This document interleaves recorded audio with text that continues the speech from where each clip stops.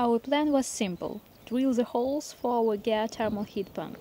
The site was cleared, the big machine brought in, ready for action, but things didn't quite go as planned. And. And here is the result. Nothing happened.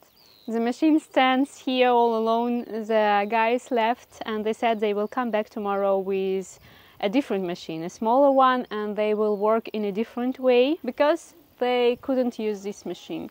There are two reasons, as they mentioned. First one, this thing here, it needs to lay flat on the ground to work properly, and they couldn't manage that on our ground. And the second reason, you see, this pipe is damaged, so they couldn't attach um, another pipe uh, with a rubber properly. And they said that yeah, it will just not work. George also came. George. George. George. He came to check.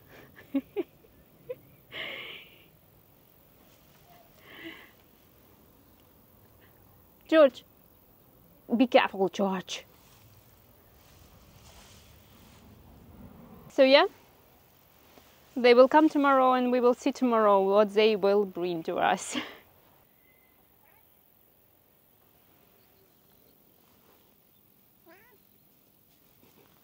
we had to break the fence to get the machine into our backyard, but it's okay, we are going to break this concrete fence anyway.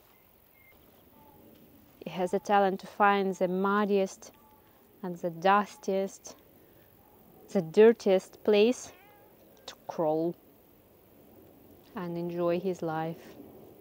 Uh, we're gonna have three boreholes one here, one here, and one over there. They should be somewhere six, seven meters apart. And while we are on the topic, let me tell you a bit more about the heating system that we have chosen for to heat our old house. Uh, we have considered three options: uh, gas, pellets, and geothermal. Uh, gas would have been the most uh, convenient option and the cheapest.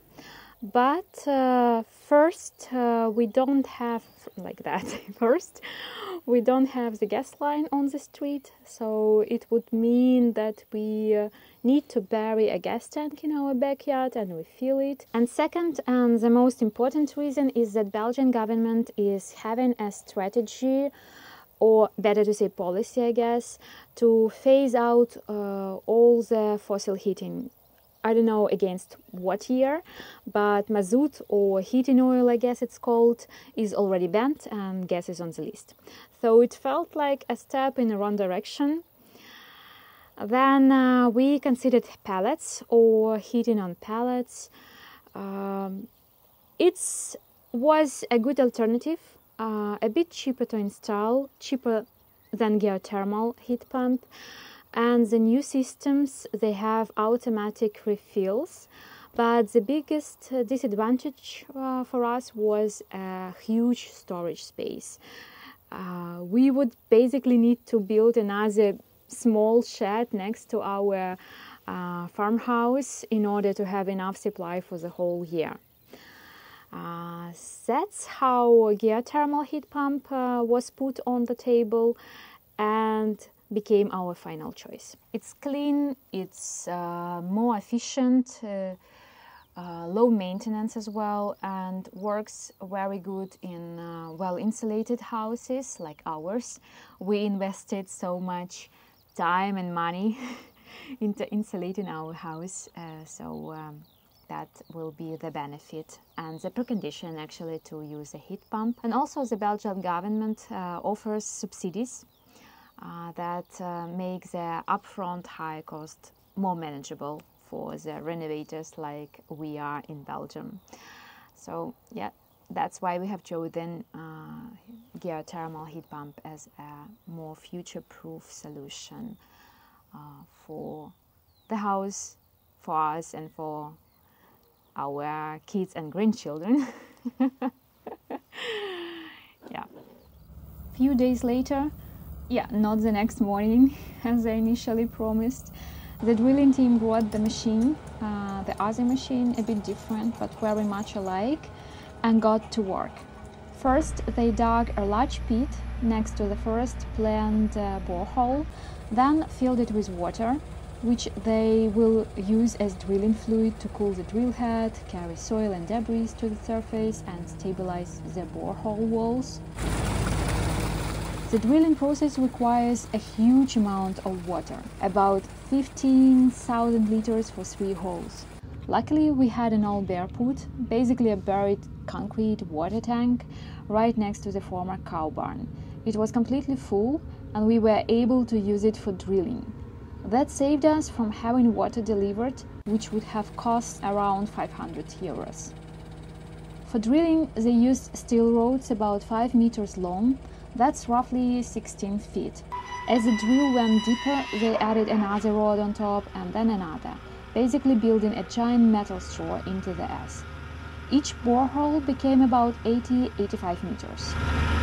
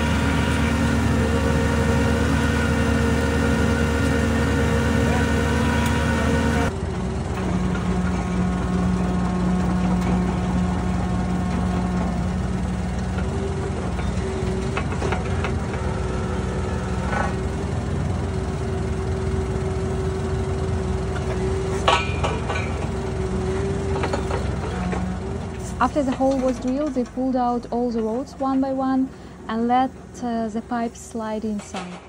That was really cool to watch how quickly they went in.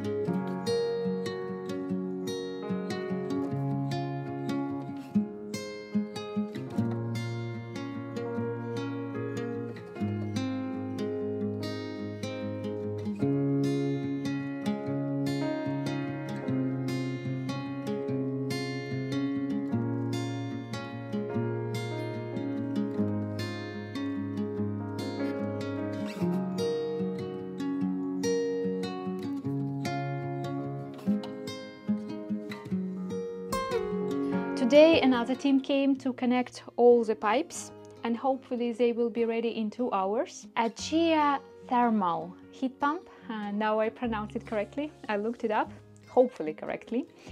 Um, works by using uh, steady temperature underground, usually around 10-12 degrees year-round. The pipes are buried deep in the ground. As you have seen, we have done vertical pipes, but you can also bury them horizontally if you have enough land around you. And then the fluid circulates in the pipes, absorbing this steady temperature.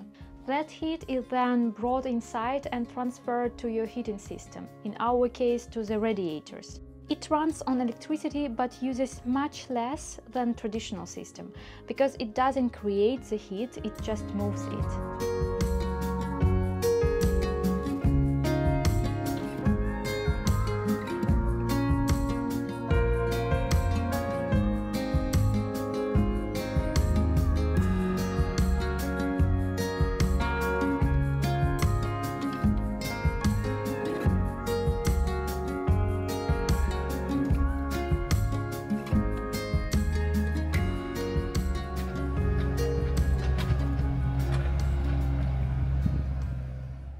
Now the pipes are connected to the house and the trench is filled in and it looks like nothing ever happened here.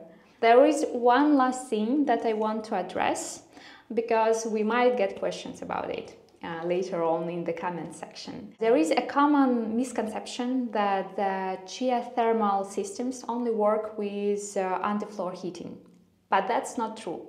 They can perfectly work with radiators as long as the radiators are oversized, properly sized, better to say, or with specially designed uh, radiators for the lower water temperatures. Unlike traditional boilers that heat the water to about 60 75 degrees, the geothermal heat pumps uh, can produce water at around 35 55 degrees. So in our case because we want to use uh, old iron radiators downstairs and uh, more modern radiators upstairs we calculated the needed size of each radiator room by room in advance to make sure that we have enough heating comfort uh, throughout the house and they won't look ridiculously big. Um, they will look a bit bigger but acceptable. So now we just need to lay the pipes in the house and we have the heating. Getting closer and closer guys, it's very exciting to be to reach such a milestone. I hope you enjoyed the video. Stay tuned for the further progress and I'll see you next week.